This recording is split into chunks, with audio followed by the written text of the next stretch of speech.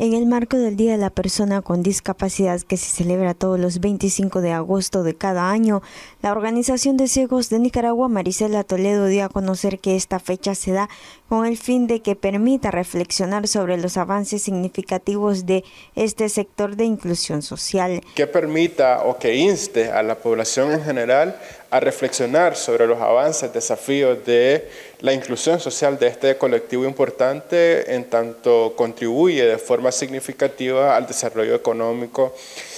y al desarrollo integral, desarrollo humano, podría decir, de la sociedad nicaragüense porque las personas con discapacidad estamos con la voluntad política, con la disposición de todos los actores sociales inmersos en las diferentes actividades que eh, que nos permiten interactuar con la sociedad e incluirnos en los diferentes espacios en los cuales hemos venido logrando eh, abrir espacios de cara a precisamente eh, contribuir al desarrollo eh,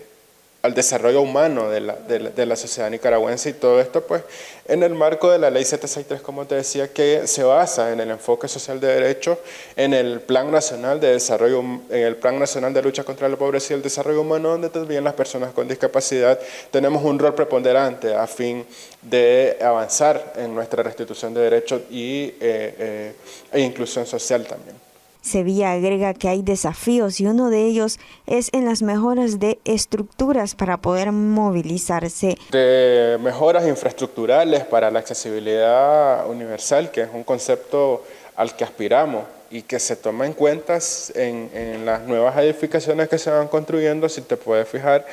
los parques, las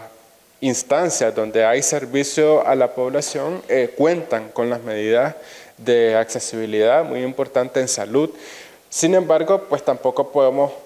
obviar o dejar que estos desafíos opaquen los avances existentes. Por ejemplo,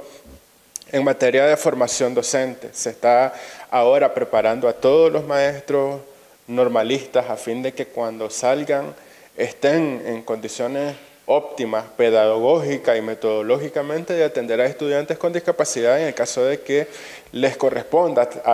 eh, eh, brindar el conocimiento a, parte de estos colectivos, ya sean niños, jóvenes o de cualquiera de las modalidades educativas, eh, específicamente para las personas con discapacidad visual y a las personas con discapacidad auditiva, porque se capacita a los docentes en sistema de lectoescritura braille y en lengua de señas nicaragüense. Noticias 12, Darlene Telles.